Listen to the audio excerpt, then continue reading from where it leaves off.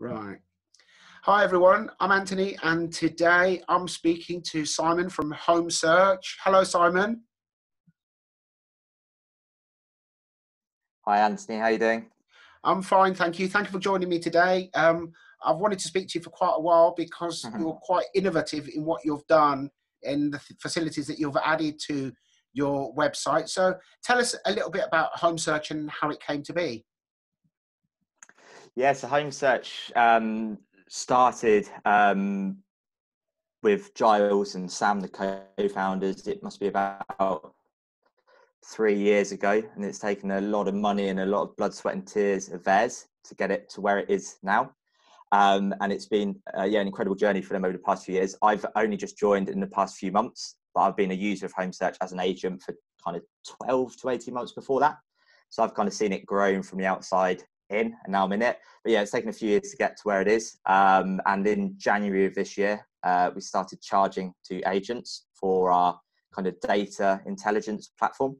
Um, and then at the start of July, we're actually going live to the public as well, which has been going on for probably two months now. So yeah, very exciting times.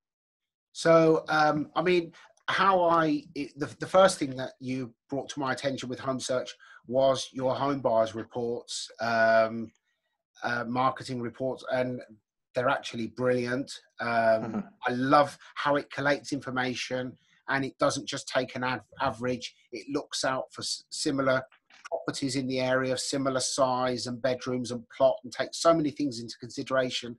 Um, it can literally take three hours, two hours of Mhm. research and turn Yeah. it ten minutes, can't it? Yeah, I mean that was a great thing for me. Was um, you'll know what it's like when you've got a busy diary and you've got back-to-back appraisals, and you think, God, I need to get in at stupid o'clock in the morning to get all those different tabs open on on the internet to find all that information. Um, but it's all there in, in one place. So yeah, you've got you know title number, plot size, square footage, EPC rating, sales history, and literally within minutes you can collate that information into a lovely kind of branded report. So it's got you, your logo, your color. So it's all about you when you go out and see the client, and it looks like you've put hours of man hours into producing that report. Now we know you'll know your marketplace very, very well, but it, I think that when you get such a short amount of time with a client in their home, you need to do everything you can to help convey that message. And I think the home search report helps does that.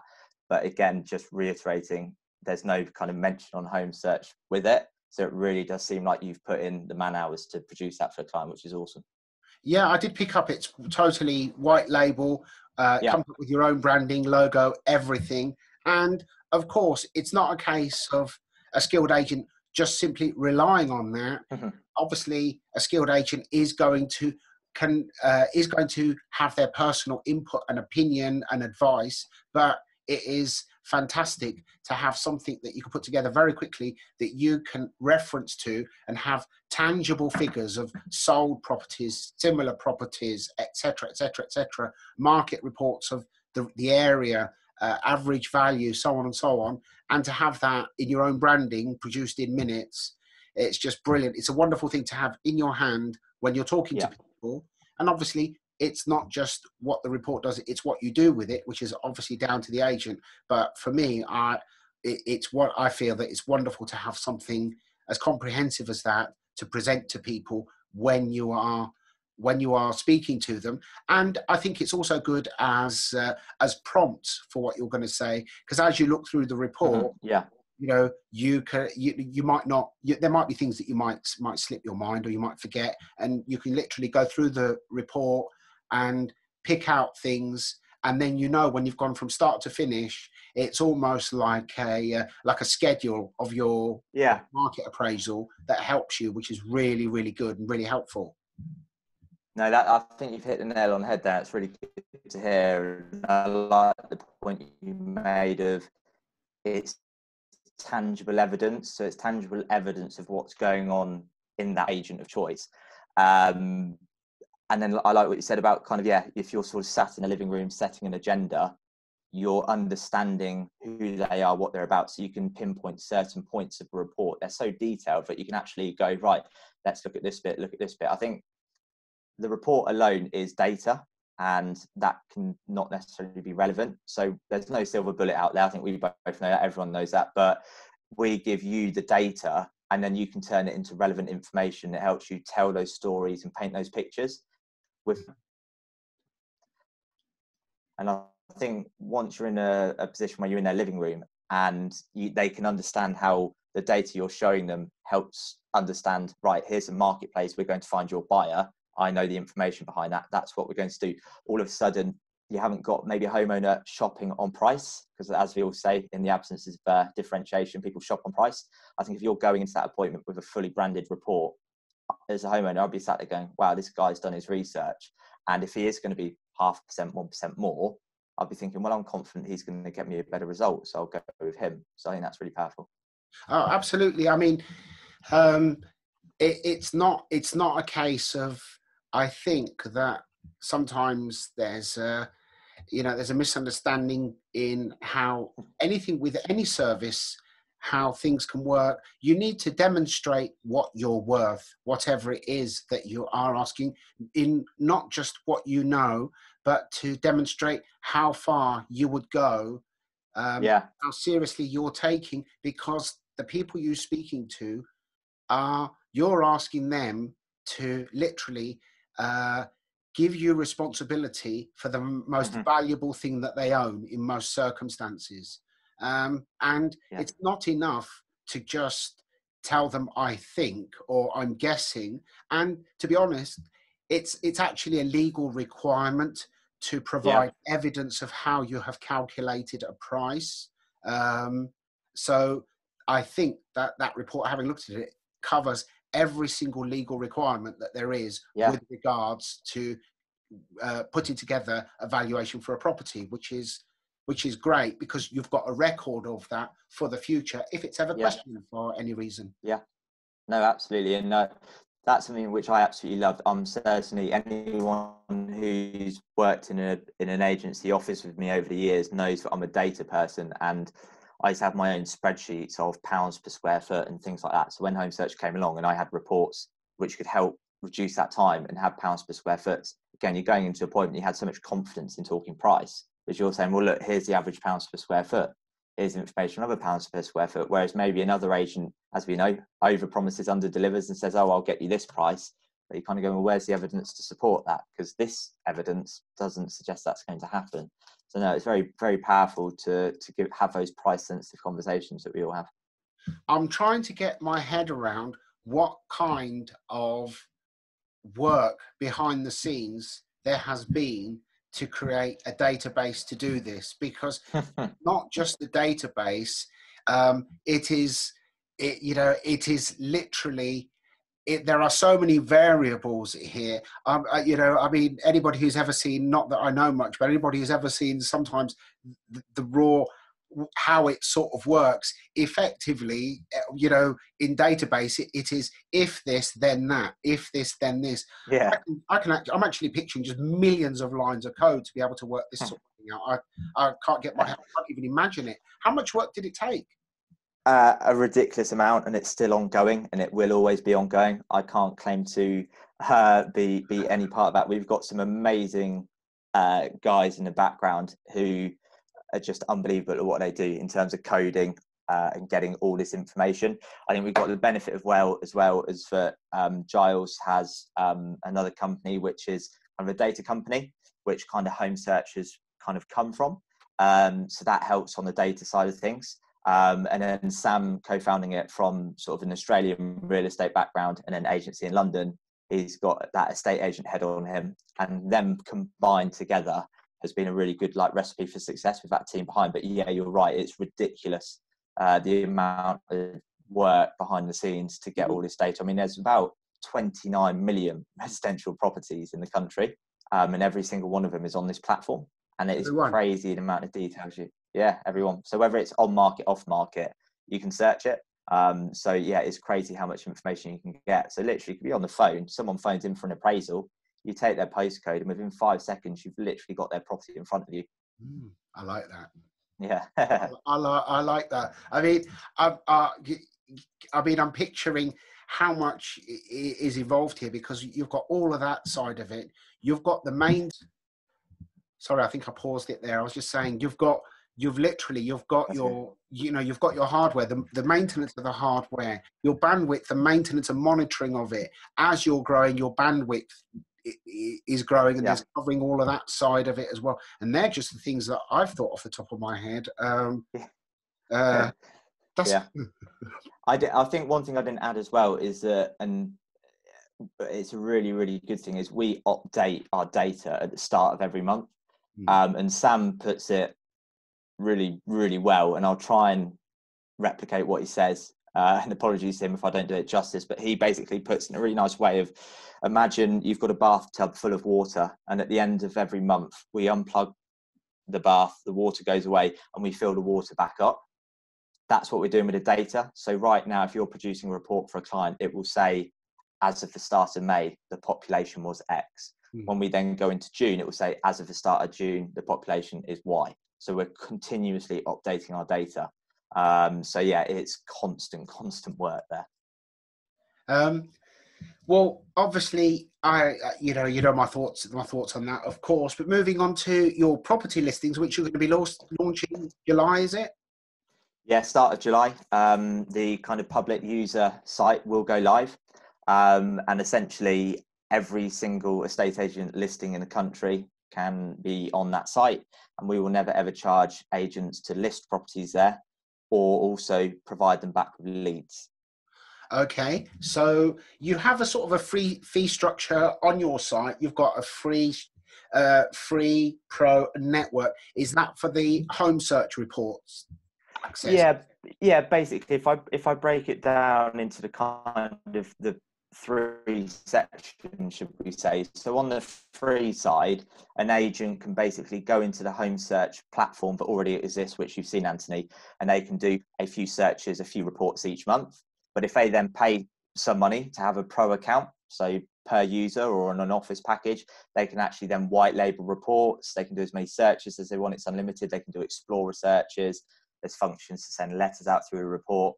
And then the network, which is going live at the start of July, is essentially agents are able to connect with buyers and sellers in a marketplace uh, in a lot in a much more I'd say intuitive way than you can anywhere else at the moment. Okay, so so to break that, I was just going to say to break that down. So the free the free side of it, as I said, free. Um, and then you get all your listings on the on the platform. You get leads come through to you as well, and then you can do a few bits at the back end. And then for £55 a month, you've got a single user in an office who can use the Pro platform. So they can, like I said, do reports, do searches, Explorer. And then £155 a month is the network branch pricing package. And that's up to eight users in an office, but then they also become a member of the Home Search Network. So that's where I think it's going to be incredibly powerful I think in a in a market which is going to be tough coming up, it's going to be I think a great market, but it's going to be tough, and only the strongest will survive. And I think agents potentially using that will help them identify the hot buyers and sellers in their market, rather than perhaps the tire kickers that we know can be out there. Yeah, yeah, uh, absolutely, absolutely wonderful. So, where are you actually based? Um, so up until lockdown, our office was actually Canada Square, Canary Wharf. Um, but as lockdown was happening, we were just moving over towards Notting Hill. Um, but lockdown happened, so that office moves on hold. We're all working from home at the moment. So we actually we actually started working from home. I think a week before Boris announced lockdown. So we got people all over the country. We got people in London. Um, I'm based just outside of Milton Keynes. Newport Pagnell. Um, we've got people up north, west, east, south. So yeah, we're we're all over the country. Um, from the first time first time we spoke when I had a look. I had another look today. Um, okay. You've actually grown a little bit since the last time I looked. How many agencies do you have on board now? Um, so we're almost at 6,700. So last time, so I've actually just refreshed it and we're at 6,715. Wow. 6,715. So, yeah. Do we know how many roughly there are out there now? There was in excess of 20,000 uh, I've, I've heard that it's below that, roughly.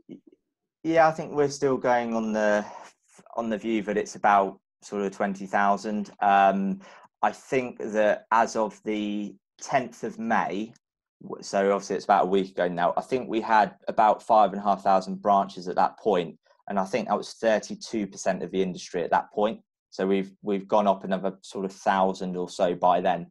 Right. Um, so that that percentage probably more like 40% um, at the moment, and that's in how long has it been?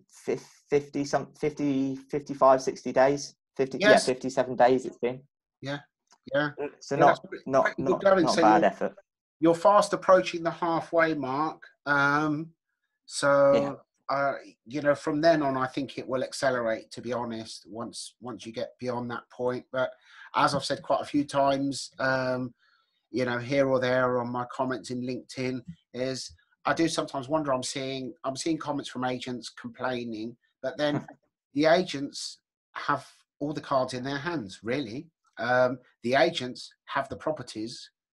The agents have the content. Without the agents, a website is just millions of lines of code. It won't have anything. So it's up to the agents to support people like yourselves so that they are then not held to ransom by anyone. Yeah, and I think that's why we've we've been so kind of avid from the start that we will never ever charge for listings or leads. So if you put a property on the home search site for the public to look at, that's your data that belongs to you. So if someone wants to look at that lead, if they click on the property, they view the listing, it takes them straight back to your website. Mm-hmm. again, I think that's really powerful because you know agents out there have got some amazing websites, amazing social media, uh, you know, like yourself and, and Fine & Country, and we want to be passing traffic back to you. Uh, you know, the the less time they spend on us and go to you, amazing. It, it benefits you because if they see all those social media things that we were speaking about, and they see about you and your brand, that could potentially then be not just a buyer but another seller for you and an increase of business for you. Yeah, absolutely. Um, I mean. Um, I think uh, I think I can speak for my colleagues as well. I mean, um, we are literally you know on top of social social media 24 7 in the last seven weeks of lock, lockdown I, I don't think i've stopped literally 24 7 i've just stopped to sleep. I've never worked so hard in my life to keep an online presence and i know my colleagues are the same. And everything like this it is the way that i see it is we have an obligation to our clients to to give them as much exposure as possible everywhere. And as I said before, um, I do think that agents can simply, can very, very easily change the status quo that they're unhappy about by supporting people such as yourselves. Um, hmm. I'm not uh, criticizing anybody else or, or any of the preceding big three portals in any way or anything like that. I just feel that the power is in the hands of the agents. And if they support people such as yourselves, then they will actually get a better service from everyone because the, the tables will turn a little bit. And ultimately, it is down to it is down to the agents to change their mindset a little bit that we're not in a world where you're just going to put your property on one place yeah. and just wait for the phone. Things have changed. You do have to give exposure in every way, but that's only part of the total total package of tools at your disposal and social media you know it's a learning curve we're learning every day um, i mean every day we we're getting uh, links to webinars and this that and the yeah. other from sean i'm constantly yeah. watching christopher watkin as well yeah. taking from him. Um, I've got about a backlog of about five um, five seminars from Tom Panos that I need to get through. Right. Yeah. But you pick stuff up from everyone, and I think that I think that now is is the, is the time that people need to decide: Are they going to support people like yourself, help things to change, and invest in them in themselves to actually yeah. improve their game and raise the game for everyone because in this country, you know, we do lag behind the rest of the world in many ways. I, I, think where service for property is concerned, and um, I know that our our sort of efforts to to go forward, it's just relentless. And you know, now I've got all your stuff to learn as well, and I'm looking. I'm looking through your home buyers report, and I've been doing a few tests, and yeah. you know, I do have to say, I'm I'm not biased here, so you know, um, there's no no personal benefit here, but I have done a few home buyers reports, and they are uncannily accurate. Uncannily. Good. That's accurate. good to hear. Good. Yeah, yeah, yeah. That's why I'm just, you know, as a sort of a budding computer nerd, I'm baffled, baffled by, you know, by the by the programming in the back end to produce this kind of thing because it's it's not a database. Property listings is just a database. You enter the criteria and the results appear. Prop, your home home search report is not that. There's so many variables that must have taken a lot of work. I keep I'm repeating myself, but I'm, I find it quite, I, baffling how it's how it's working all that. I, this is like artificial intelligence. Yeah, I think something something that you you'd said that kind of I just um, made me think of something is quite random, but I don't know if this was case. But when you do like a maths exam at school, and you do the you put the answer, and then you have to show your workings out. Mm-hmm. So I think it's kind of the same with like a home search report. You're sat with the owner, you're actually telling them how you've arrived at that mm-hmm. price. I shouldn't say tell, you're having a constant consultation on that price and you're looking at the demographics of a market that exists. So, like the maths exam, you're actually showing your workings out. Whereas I think a lot of agents are guilty of just planting a report on someone's table and saying, I think it's worth X. So I've been doing it 20 years. Um, and I think if I was selling my house right now, I wouldn't be overly confident in that person because I think well, they're just going to stick it on the internet and, and wait for the phone to ring. Um, and I think again, I, I think what's the stat? Is it something like sixty percent of properties sell with a second agent? So I think that just goes to show as well that actually it's not as straightforward as sticking it on the internet. You do actually, have to have a plan in place. Is I it higher than that now? Than that, sell with a second agent. I've got a feeling it's more like seventy to seventy-five percent. Mad. That's mad, isn't it? Mm. Um, so you think, and, and oh, I get it because a lot of agents, again, uh, no disrespect, of if you sort of walk down the high street, every agent seems similar to the public. They've just got different coloured logos. So again, they just kind of go on the cheapest fee. But it's not. I think it's possibly again because estate agency is not necessarily tangible. Because if everyone sort of says the same sort of price and someone will do it for lesser fee, they're going to go for a cheaper option. So it's important that you've got all the tools at your disposal to show them, look, yes, you do pay me a bit more, but I'm going to get you a better result, less stress, and essentially more money in your back pocket. And that I think that's it really. Uh, well, I agree. Well, as I said earlier, the maths calculation, as you put it, is not just for a matter of credibility. It is a legal requirement.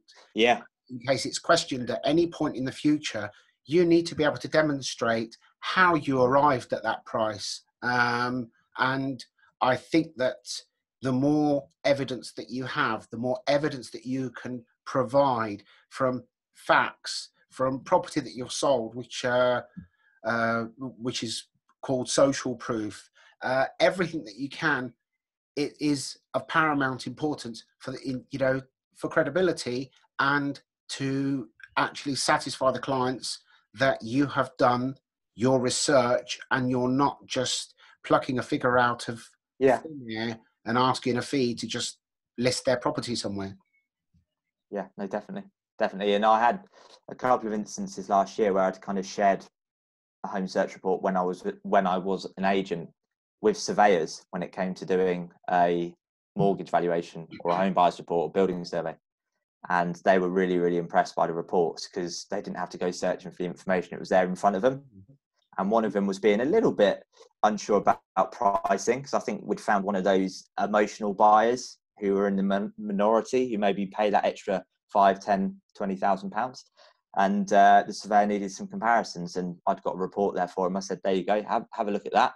That will show you what you need to know." Um, and it, mortgage valuation was fine, mortgage offer issued, and I think we set a new a new precedent for highest price achieved on that street. So again, it's giving those surveyors evidence as well, who need to, I think, need to prove to the lender that they're happy to lend that money to the buyer as well.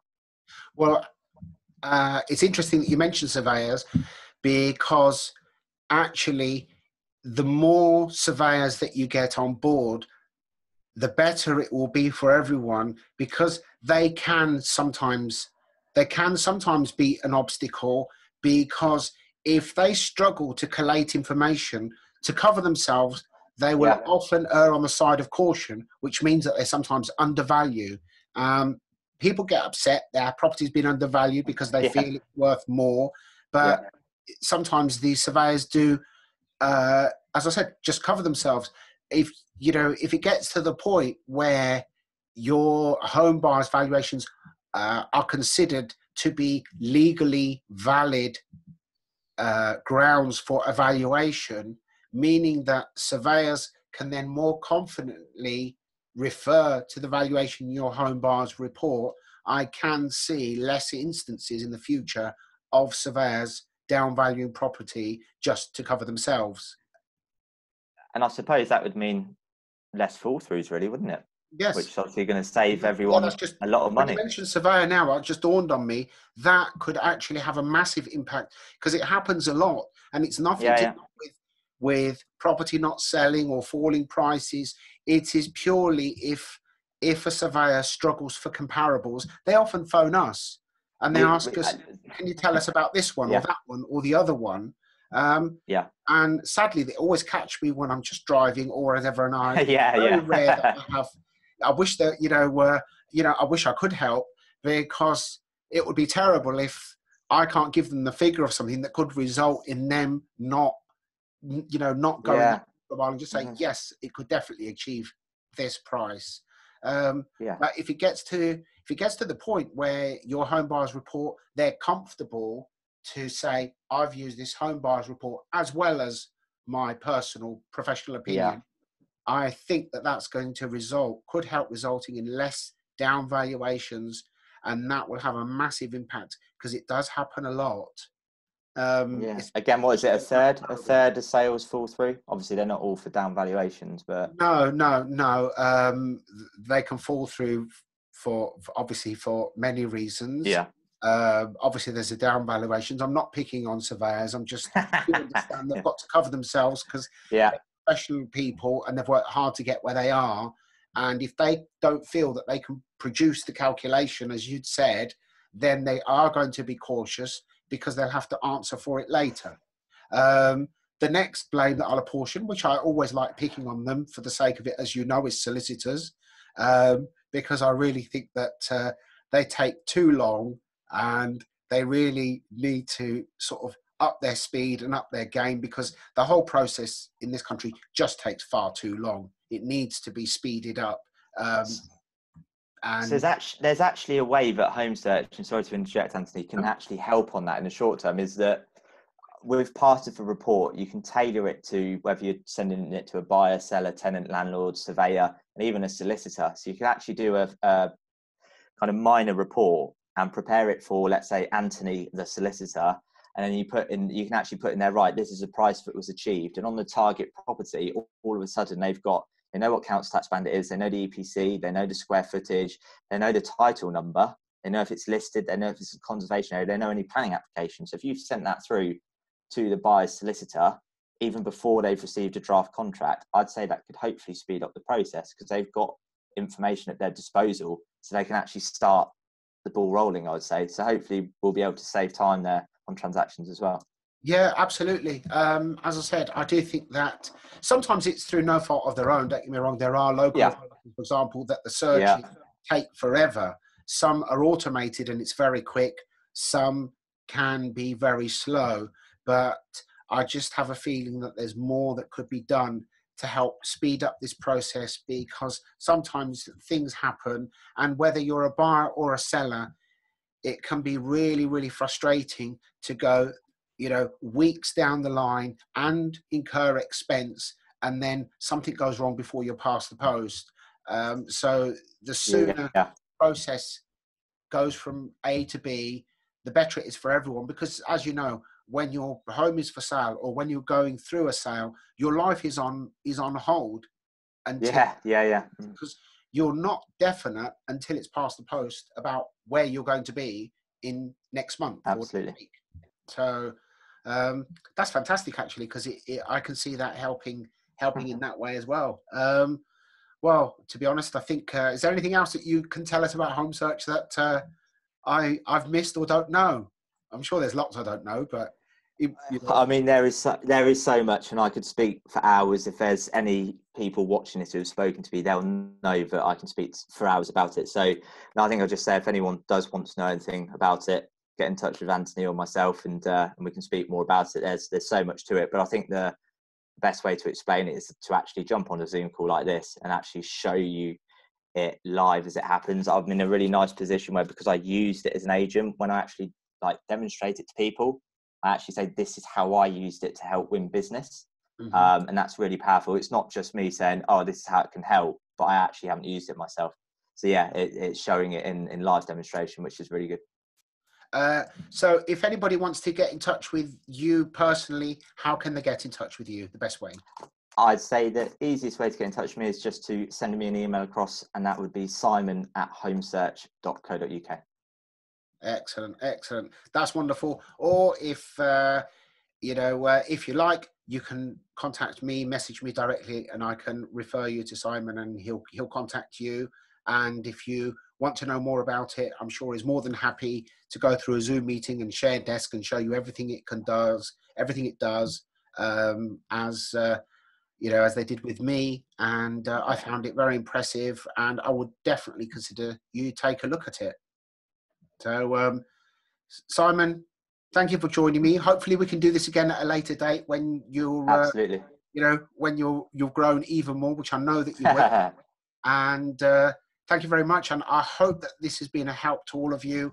Uh, all I can say is, guys, um, support support these people who are emerging and will change the industry and make things better, not just for you, but for everyone. So that's all for today. Thank you, Simon.